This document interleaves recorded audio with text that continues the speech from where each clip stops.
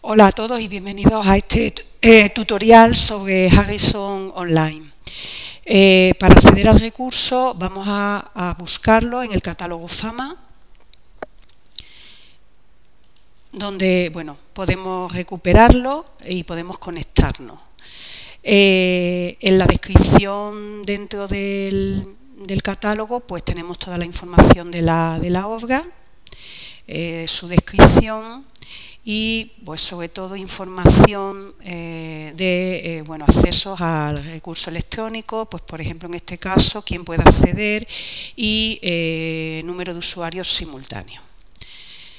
Bueno, nos conectamos desde aquí y bueno, para empezar vamos a explicar un poco qué contiene eh, esta obra, eh, que es fundamental para la medicina, eh, se trata del texto completo de la prestigiosa obra Harrison, Principios de Medicina Interna, que bueno, se publica mm, en papel, pero tiene también esta versión electrónica que nos permite un acceso rápido y, además ampliado a la famosa obra. Eh, realmente eh, podemos eh, movernos y mm, ojearla como bueno, si fuera una obra de referencia, pero además, como hemos dicho, cuenta con características ampliadas, como pueden ser pues, estudios de caso, la posibilidad de hacer pues, autoevaluación a través de tipo test, incluye además pues, mm, material multimedia, eh, como pueden ser vídeos, eh, animaciones, etcétera.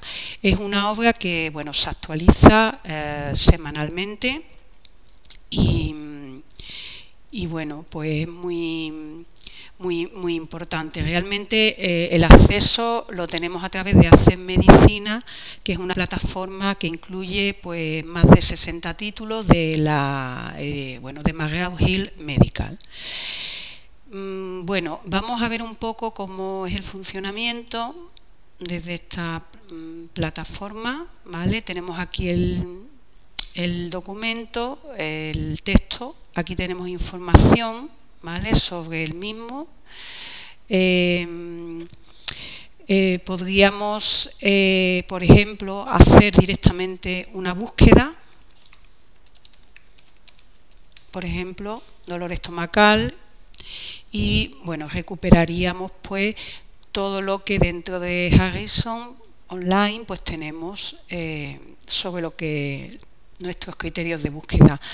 en este caso el operador booleano AND está implícito y también podríamos buscar por eh, frase exacta. Desde aquí podríamos agregar un término y volver a actualizar la, búsqueda. Y aquí nos indicaría qué formato tenemos. En este caso lo que nos ha recuperado es, capítulos. Bueno, una vez que nosotros pinchamos en el capítulo, de la, bueno, en este caso la vigésimo novena edición, pues podemos, eh, lo podemos leer, ¿vale? Podemos leer el texto, podemos ver las imágenes. Tenemos además, eh, puesto que Harrison Online está pensado para que las imágenes se puedan utilizar eh, con un fin personal y sobre todo bueno, educativo, dentro de cada capítulo tenemos aparte además las figuras y los cuadros. Es importante que tengamos en cuenta Mm, lo interesante de, esta obra que es precisamente eh, que los usuarios de Harrison pueden eh, de Harrison Online pueden exponer, descargar o imprimir diapositivas, así como usarlas en PowerPoint. ¿Vale? Eh, el uso educativo se refiere a enseñanza del aula, conferencias, presentaciones, etcétera. yo podría descargarme esta diapositiva en un PPT directamente incluyendo por supuesto la cita la fuente y también ¿veis? yo puedo descargar pues, en un momento dado un cuadro en, PDF. ¿vale? Ya lo tendría aquí y lo podría utilizar. Mm, como recomendación, eh, como muchas de estas plataformas, es interesante tener siempre eh, la posibilidad de registro personal para eh, bueno, pues poder guardar, nosotros hacemos una búsqueda, guardar aquella arte que nos interesa tener pues, para una clase o para cualquier otro uso educativo. Entonces yo me voy a registrar, vale, ah, bueno, ahora sale, sale el cuadro, ¿vale? En PDF. Eh, vale, voy a, voy a ir entonces aquí. me voy a registrar bueno, registrarme, voy a porque yo ya tengo mi, usuario, ¿vale? Y de ahora mismo, eh, voy a darle aquí, vale, aquí ya estoy logueada y puedo acceder, bueno, pues por ejemplo, a eh, mis favoritos. Es decir, si yo hay una información que, me interesa, pues yo podría eh, guardarlo, ¿no? Aquí, por ejemplo, pues no, no tengo... A ver, me ha echado. Voy a, voy a hacer otra vez porque no sé por qué me ha echado. Esto son las cosas que pasan normalmente, pero vamos a... Me voy a loguear otra vez. Ahí va. Y ya está. Bueno, ya. Eh, pues aquí tenemos la posibilidad de tener mis favoritos, vistos recientemente, etcétera. ¿Vale? Puedo, si un tipo de guardarlo, ¿veis? Por ejemplo, esto es lo último que yo he visto.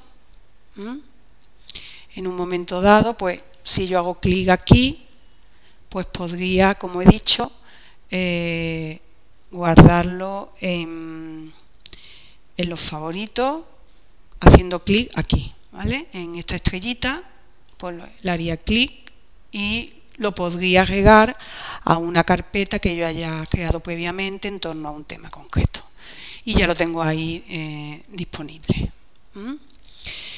Em, vale, vamos a ver lo de, por ejemplo, el PowerPoint, a ver si me lo deja descargar. Por ejemplo, descargaríamos esta diapositiva, ¿vale? Ya me la descargado y os voy a enseñar para que veáis lo bien que que lo hace, me abre el PowerPoint. Y ahora eh, vamos a esperar un poquito porque bueno merece la pena verlo para que se vea cómo esto se incorpora pues a un, un trabajo bueno incluso a un trabajo académico vamos a esperar mientras tanto. Eh, a ver ah, todavía no a ver aquí está bueno, tarda un poquito. Eh, vale, por ejemplo, aquí en mi autoevaluación, pues, por ejemplo, yo me puedo ir aquí, a ver si puedo enseñar cómo, a ver, desde el texto, Ahí, capítulo completo. Aquí.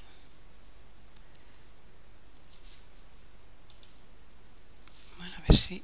Ahí, bueno. Eh, cerrar. ¿Vale? Perdonad la... que he tardado un poquito, pero aquí está. Ahora mismo me, eh, eh, queda muy completo porque me descarga la imagen y eh, me la pone directamente en el PowerPoint y además me pone la cita eh, de, la imagen que estoy utilizando y además cuando la he consultado. Por lo tanto, bueno, como un complemento eh, para, bueno, para la elaboración de trabajo académico, pues mm, pienso que es importante destacar. Bueno, y, básicamente, pues esto es Harrison Online. os animo a utilizar este recurso, que es muy interesante e importante, sobre todo para el área de biomedicina.